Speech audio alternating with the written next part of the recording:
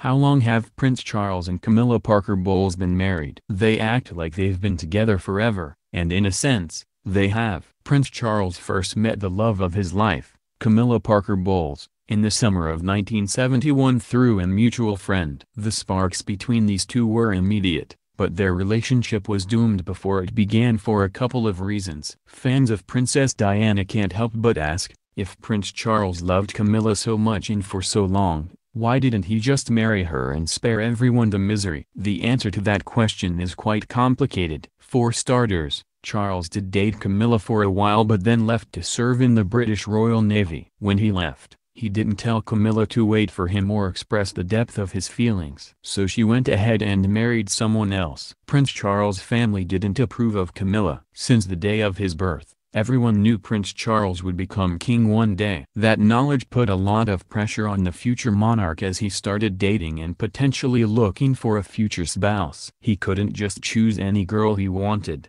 He had to marry someone with proper lineage and a good reputation. For Prince Charles, that meant marrying a virgin, which Camilla was not. In fact, she had a bit of a reputation with Charles' father said made her suitable for dating but not marriage. In a case like yours, the man should sow his wild oats and have as many affairs as he can before settling down, Lord Mountbatten told his son. But I think for a wife he should choose a suitable attractive and sweet character girl. I think it is disturbing for women to have experiences if they have to remain on a pedestal after marriage. Prince Charles married Princess Diana but probably didn't love her. No one except for Prince Charles can say for sure if he ever loved Princess Diana. But even in the interview when they announced their engagement there were red flags, like when the interviewer asked the couple if they were in love and Diana replied of course. While Charles responded with, whatever in love means. And that whole time people believed he was still carrying a torch for his ex, Camilla. The two began an affair in 1986 while he was still married to Diana. When did Prince Charles and Camilla get married? Prince Charles and Diana divorced on August 28, 1996 though they'd been separated for a long time before that. Camilla had previously divorced her husband Andrew,